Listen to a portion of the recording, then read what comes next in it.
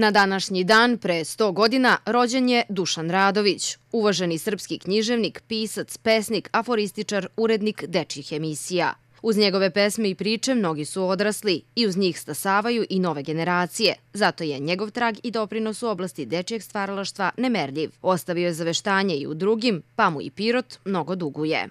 Zato što je govorio o jeziku zavičaja, o pirotskom govoru na način kako to nisu govorili ni poznati akademici Aleksandar Belić, Pavle Ivić i mnogi drugi.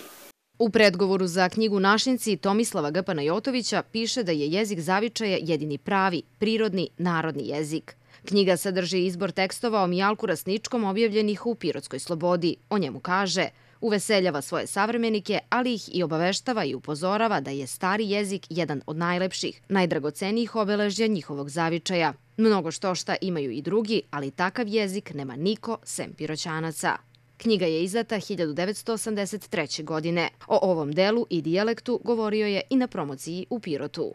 Nažalost, otišao je rano, ali je taj naš susret bio godinu dana pre njegovog konačnog odlaska prihvatio da vozom dođe u Pirot, da učestvuje na promociji koju smo organizovali u Domu kulture, da se vozom vrati i tako dalje, na taj način izražavajući veliko zadovoljstvo što je imao prilike da govori o jeziku, o govoru koji je sličan govoru Nišlija, a on je rođeni Nišlija. Panajotović kaže da mu je bila čast što je sarađivao sa Dušanom Radovićem i ističe da je on svojom pojavom i otvorenošću ostavljao upečatljiv utisak na sagovornike.